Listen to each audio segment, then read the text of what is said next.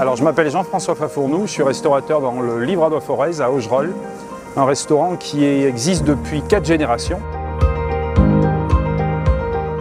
J'aime bien la forme d'Ambert parce que ça me rappelle ma jeunesse et le mariage avec la truite fario, qui est un poisson qui était élevé par mes grands-parents. Donc il y a un petit côté nostalgique. Tous les ans, mon maraîcher me fournit un curcubitacé différent. L'an dernier, c'était le Régal et là, c'est le Cara. Ils ont toujours des noms difficiles à retenir. Et le mariage avec la fourme est idéal en général avec ce genre de curcubitacées orangés, vous voyez, qui sont euh, très colorés. Et euh, je pense que c'est, ouais, chaque année, c'est une découverte.